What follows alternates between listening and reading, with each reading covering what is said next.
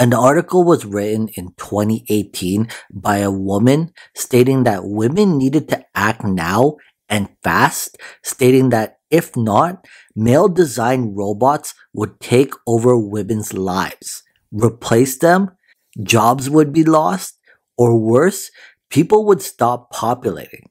Going in that direction, male designed robots, female robots with giant boobs and the perfect bodies, Although fun, these robots surely could not give birth.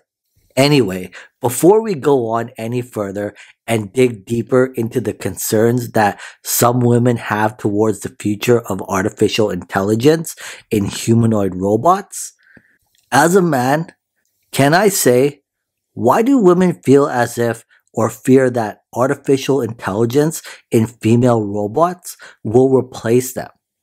Couldn't they just be an addition to the relationship, the family, or the household?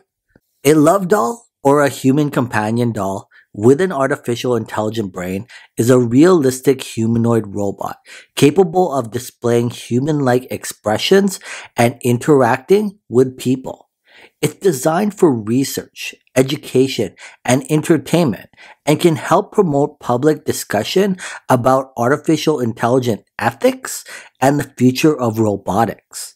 Robotic assistants, in most cases, we're talking about the wheeled varieties, already help care for the elderly, care by providing remote access to medical assistance, while medical staff can use them to help clean and carry out very basic tasks, freeing them to tackle more demanding work. Robots can ensure better accuracy within the workplace, which reduces the likelihood of human error. When robots work alongside humans, they can help reduce mistakes by carrying out critical tasks without humans having to risk their lives. So surely a human-like female robot would be a welcomed addition to any relationship, family, or household, right? Well, an article written by a woman in 2018 put the idea out there that algorithms in artificial intelligence were starting to show more and more male bias. Whether it was or is true or not, women would have a lot to lose unless they got involved. Further, the article continued down this road, mostly straying away but looping around algorithms and artificial intelligence. But maybe it's just that. Men look forward to a future with artificial intelligence in a human like female companion, a robot, while women want to take that away, all while probably hiding a pocket-sized battery-operated companion of their own somewhere underneath their bed. LOL. I don't know.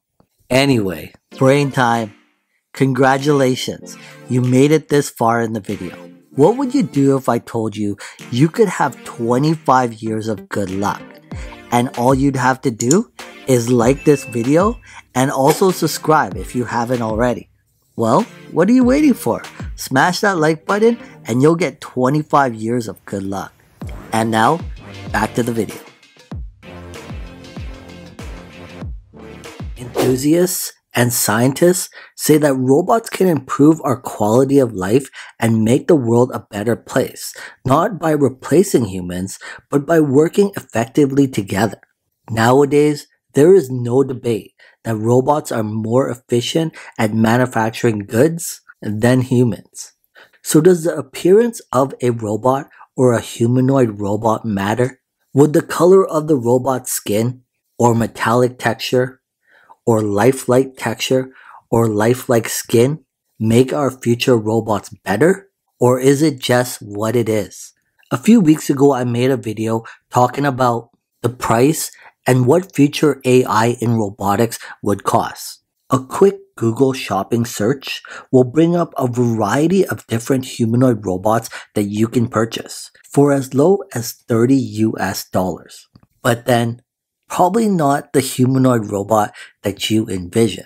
Because when we think about humanoid robots, we think of human-like robots with giant bosoms and the perfect bodies.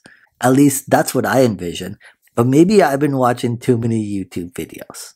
A quick Google search, a thousand dollars, and a credit card, and you can get a love doll sent to your house in a matter of days. See what I did there? Not use the S word, but rather called them love dolls? Trying to keep the video clean. But that's really all it is. Because for less than a thousand dollars, sure you could find yourself a lifelike blow up doll that feels truly realistic, but it's gonna be missing the AI and the brain. And that's what we're pushing for the future to be all about. Anyway, that's pretty much all I got. If you like this video and you want to watch more videos like it, make sure you check out all my other videos. And if you haven't already, don't forget to smash that like button, subscribe. Till next time, catch you in the next one.